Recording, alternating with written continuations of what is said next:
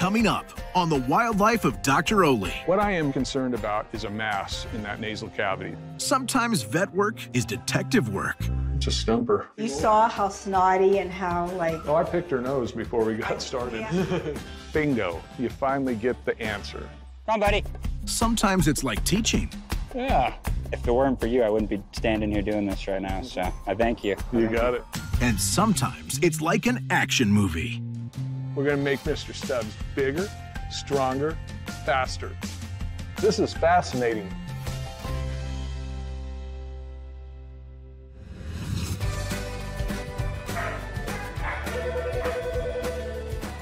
White Mountain is hopping today. Sure, I will have to go back and ask the techs because my doctor has about five surgeries today. Okay, we're on our way. She can go back up to mom. I got a couple prescriptions to fill. You're gonna be okay, Mr. Cuddles. When a prized pet bunny comes in to see the doc Dr. Ole will get it fixed. with an uncomfortable issue affecting his undercarriage. It'll be okay. We are here with our grand champion, Mr. Cuddles, who is a Holland Lop rabbit. He's had so many first places in bunny shows. He has a big, broad head and just certain details that make him a good show bunny. So what's going on with him today? Um, we think he's a UTI. He's been urinating all over. Okay, and is it getting worse or is it about the same that it has been? Oh yeah, he continues to lose hair.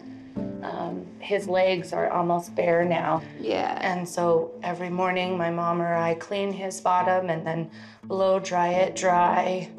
Yeah, you guys are definitely taking good care of him, considering what's going on, keeping him nice and clean. I know, it's okay.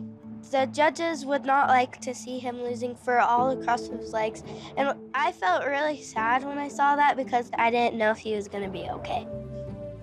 I know, it's scary. Nobody likes coming to the doctor. Mr. Cuddle's career as a show bunny may be cut short by this problem, but his lack of signature fluff could also signal something much more serious. Sad. He's okay. He's at the best place he could be right now, huh? Yeah. It's all right.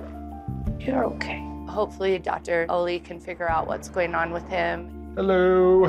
Hi, Dr. Ole. How are you doing this morning? We are feeling hopeful. Thank Well- you. Jill tells me that Mr. Cuddles has urine scalding on his hind limbs.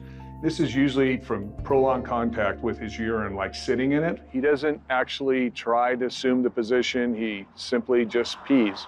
But I believe there's a much bigger issue going on in his body. I want to just take a good look at the anatomy down there for starters. We want to run a urinalysis on him. Things that are going through my mind, he has some kind of a, a problem with his, his ability to urinate, urinary bladder, all the way through the urethra.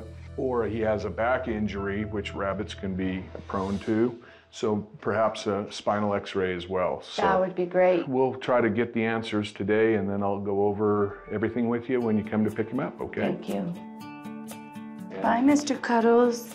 Bye, Mr. Cuddles. Bye, Mr. Cuddles. Thanks a lot. You got it. That's a good boy. Good boy. I have got you scheduled, and we will see you at 11:30. The clinic is jumping this morning. We are done. When Doc Ole's former apprentice arrives with two feathered friends.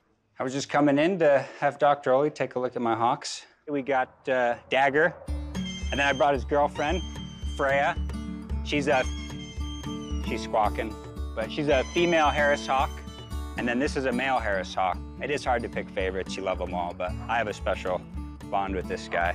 You know, the sport of falconry, it's ancient. Instead of hunting with a gun or a bow and arrow, you can hunt with a bird and you catch small stuff, rabbits, ducks, quail. It is always good with an animal like this, just for Dr. Ole to take a look. He's a vet who knows about raptors, which is rare. Hey, Doc, how's it Hey, going? Nick, Good how to see are you. Good seeing you. Thought I'd bring the hawks in for their yearly checkup. Come here, you. I always love seeing well-manned birds. I was in my early teens when I developed a fascination for raptors. And then when I found out you can actually train them and fly with them, I thought nothing's better than taking your hawk for a walk. So I got into it, and now I'm a master falconer. How old were you when you were my apprentice? I was 15. 15? when I first called you. He helped me get my license. He taught me how to do it. I mean, he's just the most helpful guy. I wouldn't be able to do it without you, so I appreciate it. Well, shoot. So are these captive raised or did you trap them? Both of them are captive bred. He's three, she's six months. Harris's hawks are really cool birds. They're known as the wolves of the sky because they're the only raptor that hunts in social groups like a pack. You don't have any fluctuations in weights. I mean, they're staying pretty steady at where you Yeah, keep I them. mean, I'm pretty much flying her at 700 grams. This guy I'm flying at about 620. I got to keep him at weight because I'm doing the pigeon thing for Right. business. Tell me more about that. We do an all-natural pest control thing now. Any place that's got a pigeon problem, um, I just bring the hawks by, we fly them. She's catching about five pigeons a day. He'll catch up to 10. When he catches a pigeon, I'll just give him a little piece of food and he'll get off it, and then he'll go catch another one, go catch another one, go catch another one. Yeah, I imagine once you get the, the pigeons aware of the fact that there's a couple of Harris hawks in the area, they probably just vacate on their own, don't they? Yep. We've had great success. We have apartment complexes, huge HOAs, parking garages. We're getting more work than we can handle right now. I remember when Nick came to me and he was, you know, this wide-eyed, wet behind the ears teenager, just all things raptor, and very excited about wanting to become an apprentice. And I took him on, and now he's become a professional falconer. Kind of a nice uh, transition to see some of my students uh, do so well. Let's have a look at your birds. Just be careful. She can't grab me when she can't see me. Yeah. When captive raptors are nervous, we put a hood on them, and that eliminates all visual stimulus. It basically keeps them calm. What about you? He's a sweetheart. Oh, he's a great bird. I've never had a problem with him. I clipped his beak. He hasn't sharpened it yet. Well, you bite that for me. It's not grossly overgrown. He's a pretty calm guy. I mean, if you can get an emery board on there, the thing with an emery board to sharpen that up is as many strokes as you do on that side, make sure you do the same one, and that'll keep that beak even. It'll keep wearing it down and it'll shrink it back up. Okay. Well, uh, Nick, they look great, they feel great. As long as their weights are holding, I'm going to give them straight A's on their report Thank card you. today. Okay. I think the next thing to do is go watch them fly. Yeah, let's do it. Good boy. You wanna try for old time's sake? Sure. Go.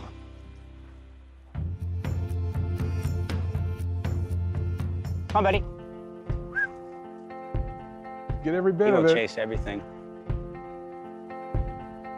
Tell you what, go go over there next to that fence. I want to see him fly a little longer distance and call him in. Okay. okay? Come on. Go over. Good boy. Come on, buddy. Good boy.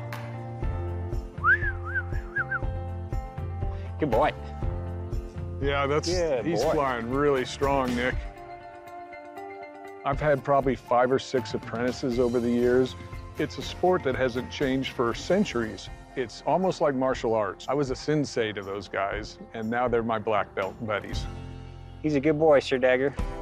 If it weren't for you, I wouldn't be standing here doing this right now. So I thank you. I You thank you it. for all you did.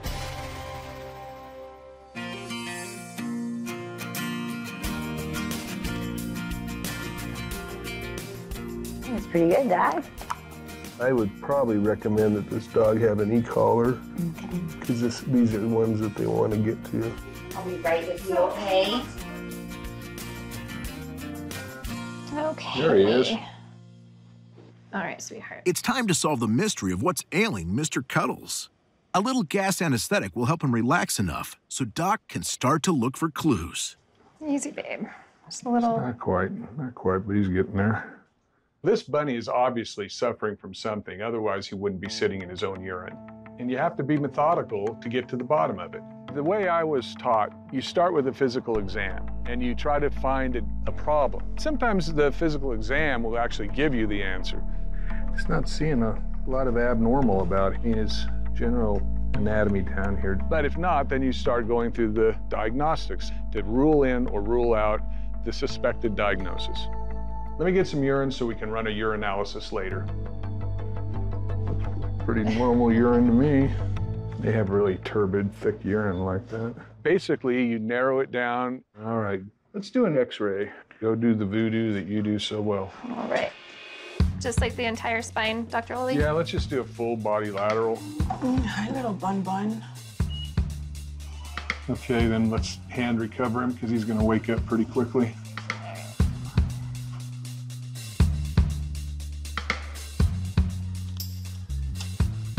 Bingo, you finally get the answer.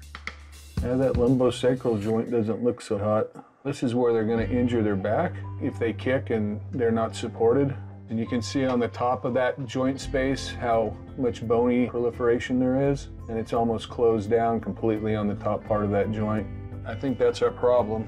This approach to diagnosing a problem has never failed me. That is what, to me, being a diligent, responsible, and effective veterinarian is all about. Should wake you up. Let's go see Mr. Cuddles. All right. I think we got an answer today. Oh my gosh. Didn't find anything anatomically wrong with him at all. Urine was completely normal. Great, okay. Um, but on x-rays, we have some changes. Back here, I want to show you just the spinal anatomy. So this is a vertebrae. That's a disc space, Uh-huh. vertebrae disc space, okay?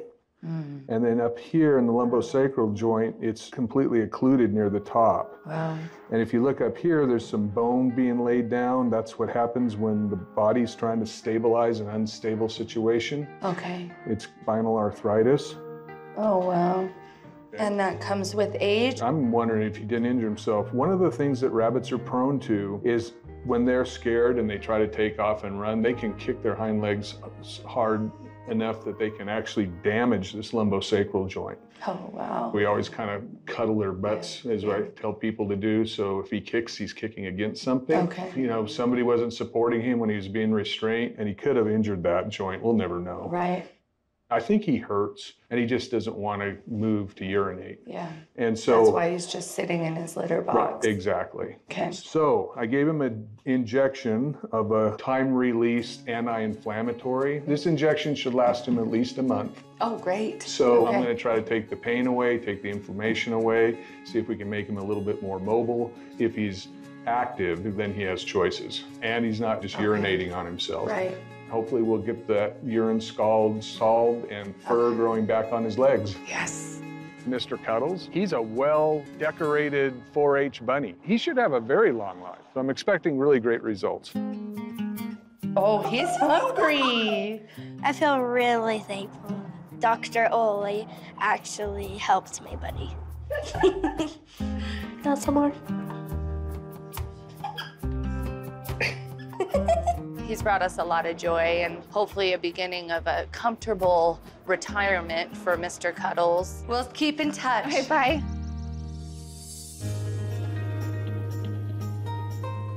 Some of Doc Ole's patients may not be the cuddliest, but they still deserve the best care. Today's house call is at a herpetological sanctuary that rescues and rehabs reptiles. Wow, that is about the biggest Asian water monitor I've ever seen. Rowdy the monitor lizard is getting up there in years, but lately he's not living up to his full rowdy potential. Is he having any kind of mobility issues or? Yeah, he's moving much slower, um, and you'll see when we get to working with him a little bit. His uh, his front arms, especially, seem really stiff now. He's getting old. He's about 26. How old is old for a monitor? Does he still have a lot of? 26. 26. Yeah, okay. Normally, monitors live about 15, 16 years at best, and he's 26. And I think that is a testament to the fine care that Daniel and staff has given him. He's still kicking. I just don't want to see the day when he's not. But Yeah. I know that Daniel and the team are really attached to Rowdy, and I fear that they think the end is near. when we start talking about him not being with us, that's hard. He's getting old. He's about 26. When he's still kicking, I just don't want to see the day when he's not. But Yeah. when we start talking about him not being with us, that's hard. I'm very close to him. It's like, you know, a sibling or a child. You know, something happens to him that's, it's, it's it hurts. He's just been with us so long, and I've done so much with him. He's definitely got to be my number one. He's very special to me. I'm probably going to want to take some x-rays after I examine him, so I'll go grab the x-ray machine. If you want to bring him, I'll meet you over in the, in the clinic, okay? We'll do that. All right. Absolutely. All Sounds right. great. Monitor lizards are a very unique lizard that's native to Africa, Asia, and Australia. What's unique about the monitor lizard is it has a snake-like tongue. It's always testing its environment. That tongue is constantly giving Rowdy information on what's around him, who's around him, and whether or not he needs to be concerned about anything. So Daniel, I noticed when he was in his habitat, he was resting his head on the branch. Mm-hmm. And, but he was standing on these front limbs. Is, do you suppose that was a mechanism for him to take some weight off the front end a little bit? Possibly. When they're basking, when they're wanting to soak up that UV light, they're generally standing, the hind limbs are down on the ground and the front limbs are up, and that exposes as much of their body to sunlight as possible. What I noticed though, he had his head resting on that log. That was my first clue that he's trying to use his head to take some of the weight off his elbows. Hey, buddy. Eyes look pretty clear. You can say aw for me? That's a good man. Cranial slits look good. Everything is good in there. That's a good breath. Nice and clear. Heart sounds perfect. Daniel, I gotta tell you, I can't believe how tame he is. I mean, I've worked on lizards in zoos, and we have to anesthetize them to get an exam Yeah. like this done. He used to move around and be much more mobile than he is now, but we've noticed his arms appear to be stiff. He kind of moves really Yeah, rickety, like- like an old Ac- man. Actually, um, just what I'm seeing is just a decreased range of motion, it feels like, in this elbow. It does look like he is having a response to pain too. he doesn't act like he likes that very Yeah. much, so that might be the source of his mobility issues. Let's get those x-rays and see if we can address his mobility issues. Okay. Okay, when you see that ready light, click it all the way down. Okay. Good. Perfect. Hot bang, we got a picture. Nice.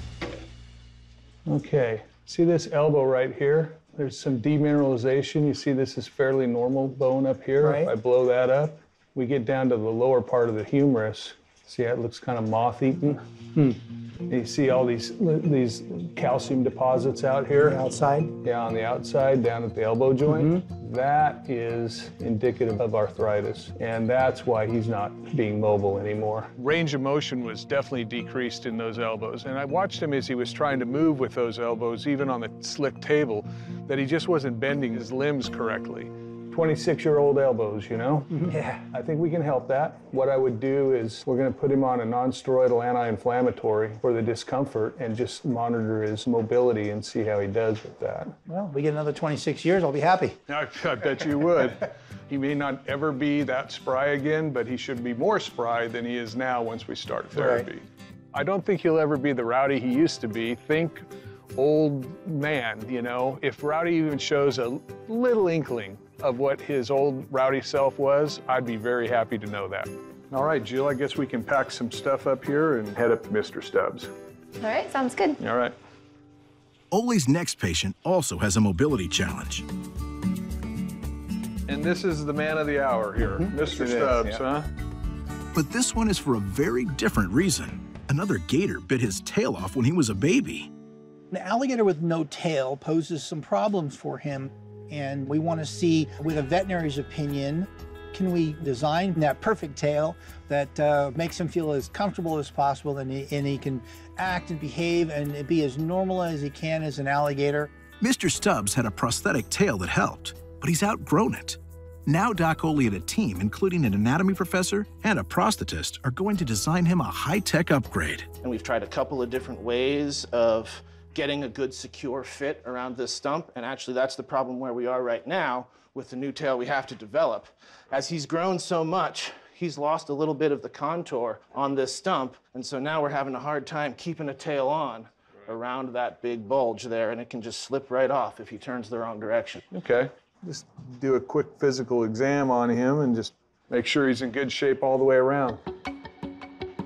At 10 years old, Mr. Stubbs should be around six feet long, but without his tail, he's just about three feet. Nice big breaths, Mr. Stubbs, please. Alligators' tails are very, very important to them. It represents literally half their body length, about 30% of their total weight. And that tail serves as a fulcrum for the center of gravity. Without his tail, he can't walk properly, and he certainly can't swim properly. So on the land or on the water, Mr. Stubbs has got some issues. Is there any way I could see him walk? We can always try. He is not a big walker these days, but Yeah. we'll give it our best shot.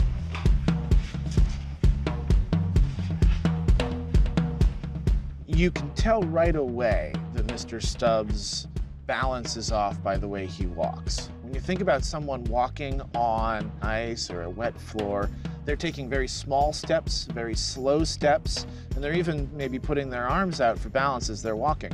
You can see him doing all the same things. And he's splaying his back legs out wide and then you see to the keep from falling over. The deviation of that lumbar spine. Yeah, yeah. Yeah. Which is normally in a straight line, even when they're walking. Yeah, he is really uh, not alligator-esque right now.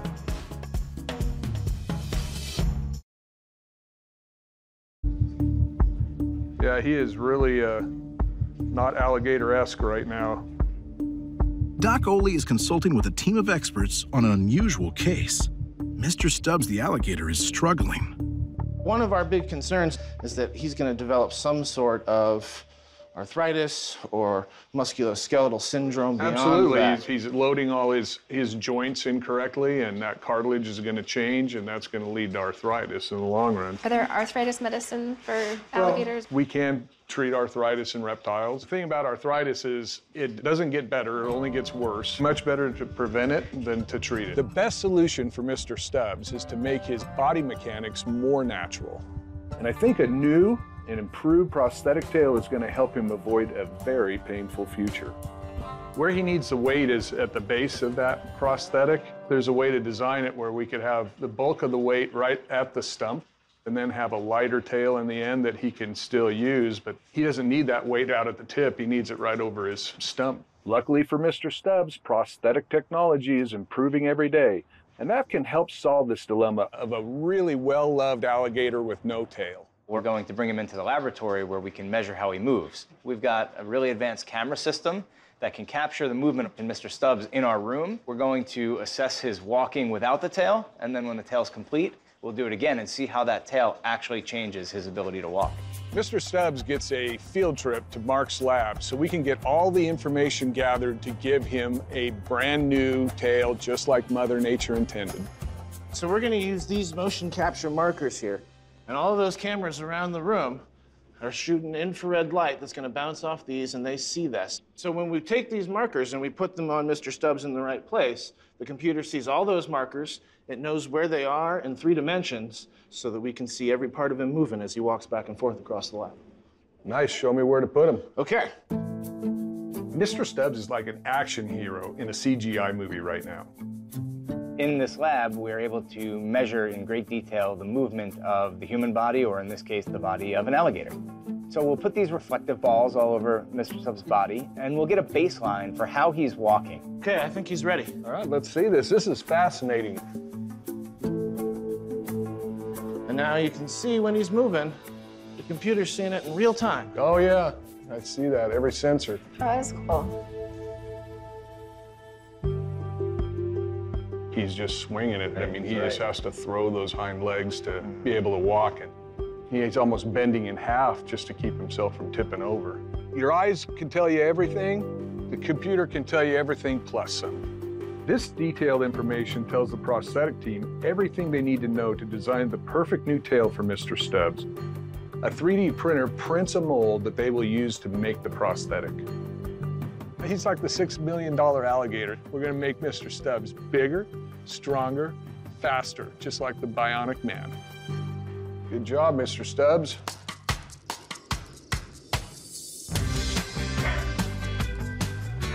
Yep, she is. Good to rock and roll. Thank you. Staple gun's already on your tray. All right. It's a busy day in the OR. Couple of skin staples in, we're done. When a beloved German Shepherd who just can't shake a runny nose Hey, Mandy.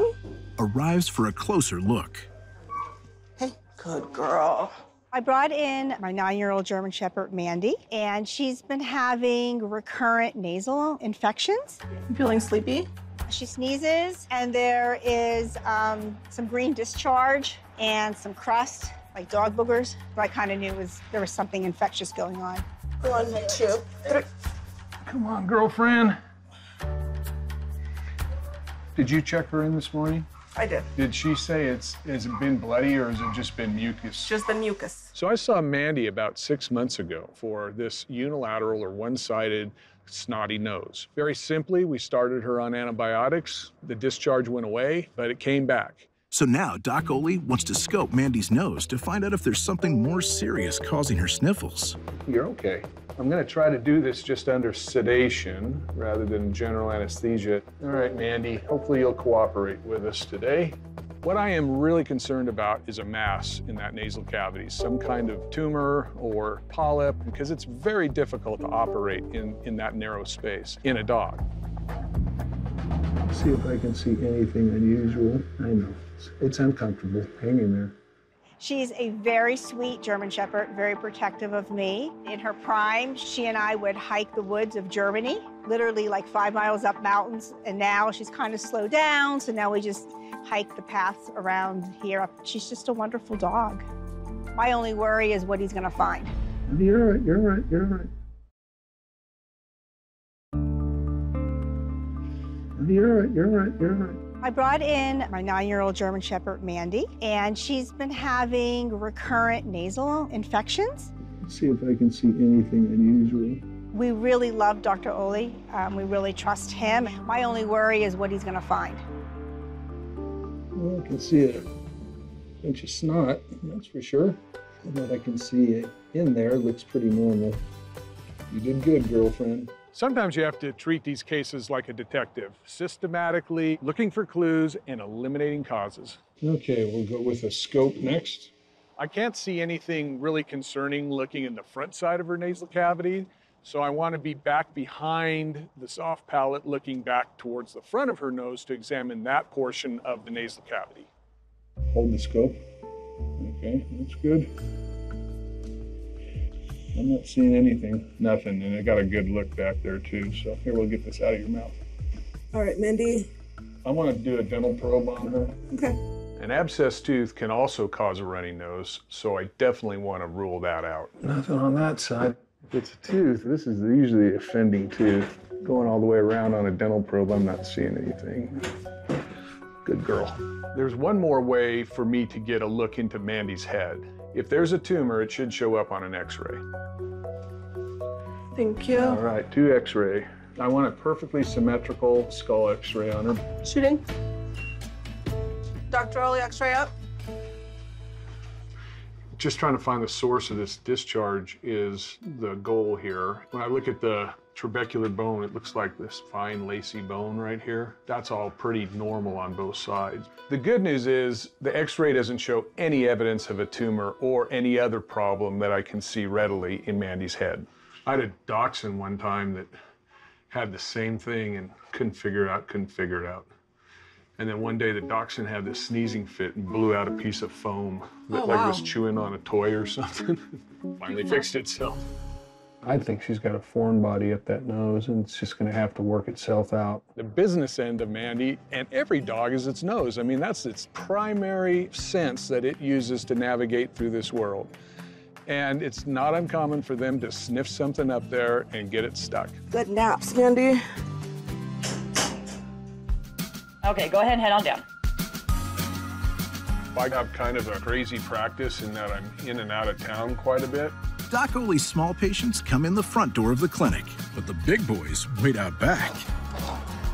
These 16 hands. Henry the horse has a persistent problem with his nose and mouth, so he's back for a follow-up with Dr. Ole.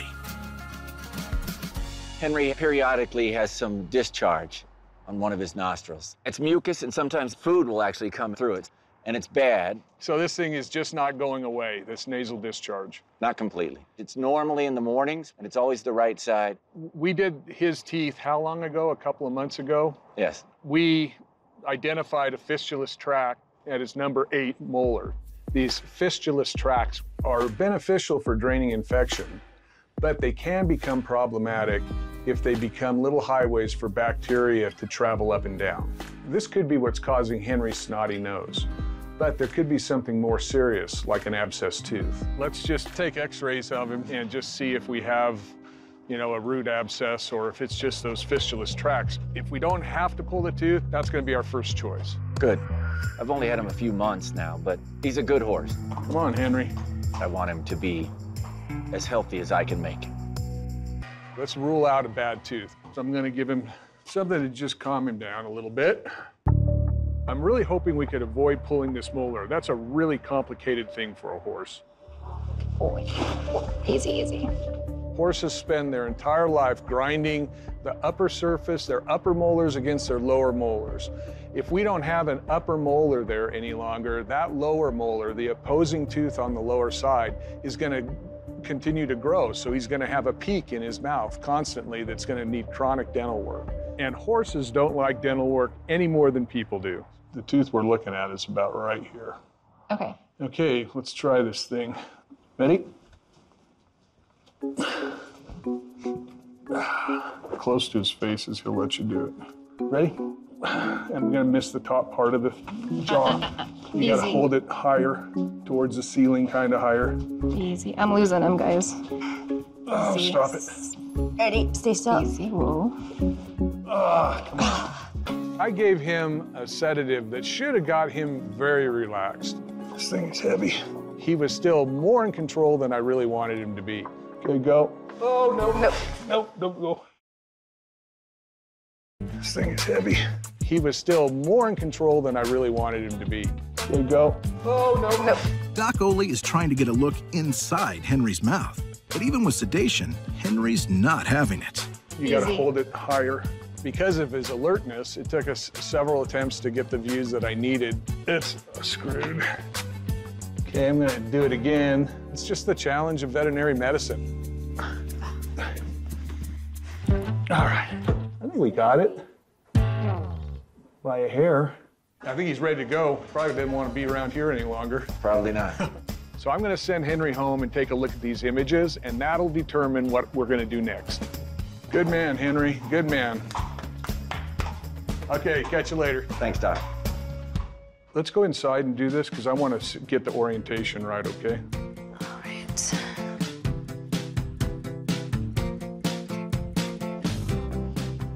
Okay. Okay, so Jill, you can see at the base of these teeth, there's root prongs, if you will, that are anchoring that tooth into the bone of the jaw. If we had any kind of major disease going on in there, like a root tooth abscess, we wouldn't see those prongs because that tooth is getting absorbed away by the infection. But we're not seeing that.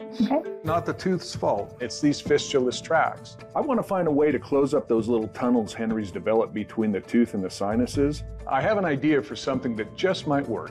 I've never done it with a horse, but there's a periodontal product that we use in small animals to help attach teeth to the mouth, and it kind of fills in that defect in the mouth. I think the plan is what we'll do is we'll get him back in. We're going to pack those fistulas with this product and see if we can stop it. Awesome. Sounds great. All right. We have a drop off coming down, just a small laceration, about three inches. All right. Bev, sorry to leave you that kind of a mess. No worries, doctor. Definitely put a belly bandage on her because you've got weepers from the skin. Gotcha. Hey, Mandy. Well, hello there. Hi. Mandy, the German Shepherd's mom, is back to get Doc Ole's verdict on what's happening with her favorite girl. First thing I did is I went up the nose. Nothing. Everything looked normal there. You saw how snotty and how like Oh, I picked her nose before we got started. yeah, and I purposely didn't, you know, because I wanted you to see what it looked like. So I wanted to take an x-ray and I'll show you Mhm. septum's intact, everything looks good. That fine lacy bone that we can see is a good thing because Right. nasal tumors and polyps and things like that, oftentimes this is just solid gray. So basically my conclusion is, is that more than likely she's got a foreign body up in that nose. Could be part of a grass awn. Yeah, yeah, yeah, yeah. She's an avid sniffer. I was really worried there could be like a cancerous tumor or something. She's nine, she's a shepherd, and you know, always worried about something worse. And that's not it at all. Big relief. and it's going to work itself out. In the meantime, we're just going to symptomatically treat her with the antibiotics, Okay. and we'll just keep doing that till one day um, she either sneezes this thing out of her, or the body took care of it and, and cleaned it up on its Okay. own. Well, I guess that's good news. It's great news. Lisa's very attached to Mandy, as it should be. I mean, people should be attached to their dogs, and other than her having to pick Mandy's nose every day, which is probably affecting Lisa's quality of life, it appears as though Mandy's quality of life is just fine. Thank you for doing a thorough uh, workup. You got it. We'll have her right up for All you. right. Good girl, mamas. Let's go. Ah, there's my baby, and you're okay.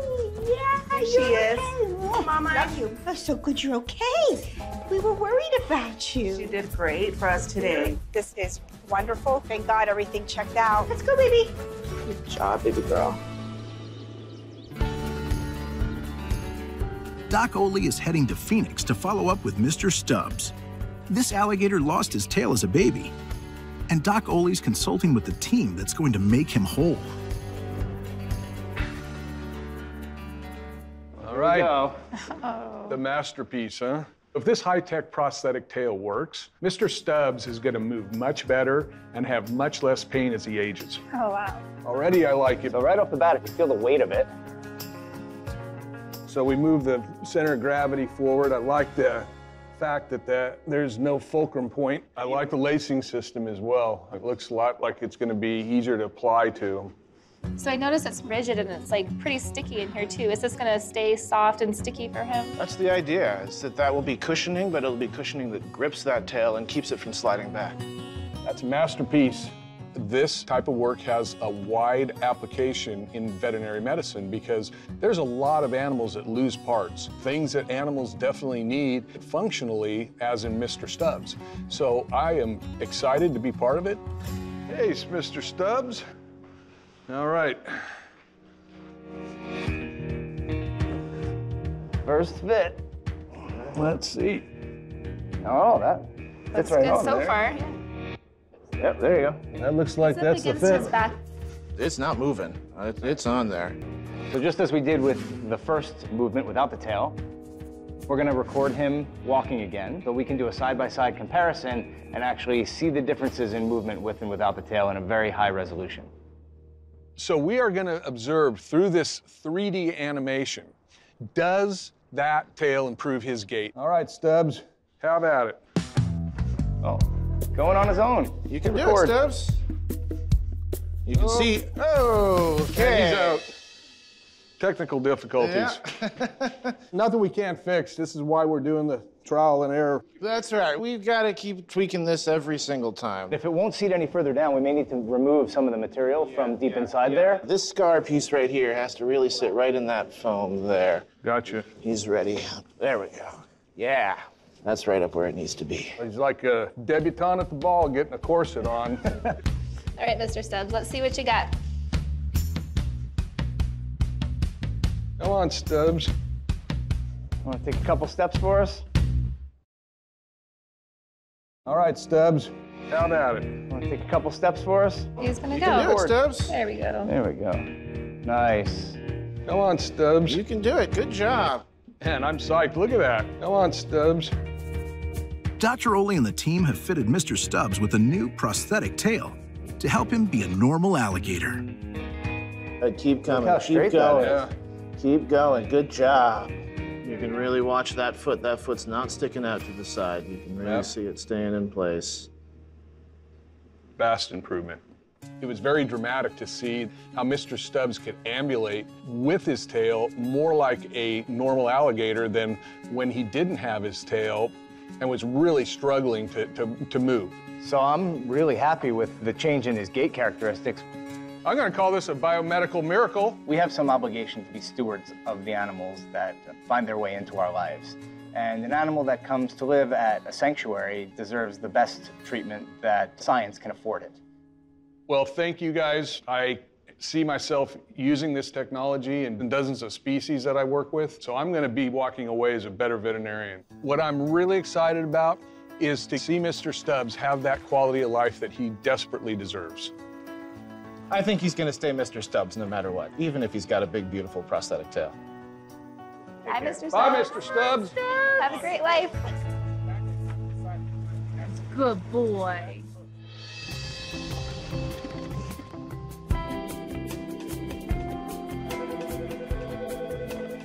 White Mountain, Animal Hospital, this is Jody. How can I help you? Calling, buddy? Okay. All right, Mr. Sam. Gosh, doesn't seem like you've lost any weight. Henry the horse is back at White Mountain for an experimental treatment for his sinus ailment. All right, Henry, be good about it. All right. Dr. Ole has a novel idea that could heal Henry's fistulous tracts, and he needs Melissa, the equine dentist, to help. Can you swing him and back him into that corner there? Henry has seen Melissa before, and he's met Dr. Ole, and horses have a good memory for people. He's not in love with doing anything like this, but he is a trusting horse. He trusts my decision to bring him here, and he trusts Melissa. The plan is we're going to flush out those, those fistulas. Got all kinds of nasties coming out of there. He's really not packing any feed. He's kind of trying to get up into the gum a little bit. Henry has these tracks, like tiny tunnels, between one of his teeth and his sinus cavity, and that acts as a breeding ground for infection. The first step is to clean out the tracks so we can get them plugged. We're going to apply a osteogenic putty up there, which is a big word for helps to create bone growth and product that we are going to attempt to clog these fistulas with is used pretty extensively in small animal dentistry. I've never used it in a horse, but in theory it should work. It feels great for me to be able to do innovative things. Using this compound may prove to be a very effective technique, and this is a way that we can actually give Henry back a dry nose and a comfortable mouth. I'm kind of excited to see if this is going to work. Are you? I am very. I'm glad his tooth is viable. This is the first time for me to be able to do something to keep the tooth because you really want to try to keep the tooth if you can. Okay, let's do this thing. All right. Let's apply the putty in there. I made you little sections of it Oh, and then fish it in there with it? and that? just go in digitally with it. We'll get that in as far as we can. Okay, easy. For me to put these mitts inside a horse's mouth halfway back to the molar, I could do it by feel. She can do it by sight. I want this to work well. And with her small hand, she's able to get in there and get the job done. Easy. Uh, uh, uh, uh, easy. You're all right. You're all right. Yeah, that one's a little bit deeper. Don't get too aggressive. It is super thick. Yeah, it is thick. Come on. Come on, Henry. We're almost done, buddy. Have to keep it underneath his chin. Henry.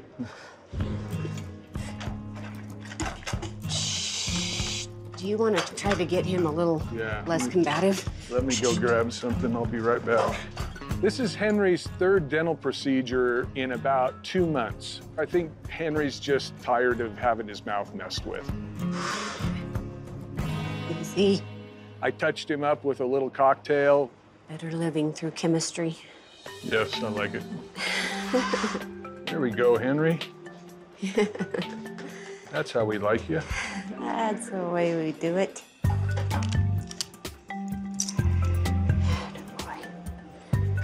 Poor guy.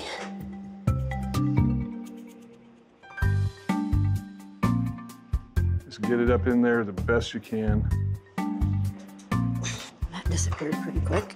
Took it pretty good. It's what you do most of the time, Doc, is improvise, right? Improvise, adapt, and overcome. Words to live by. What Dr. Ole does is he brainstorms and figures out a way to fix it, you know?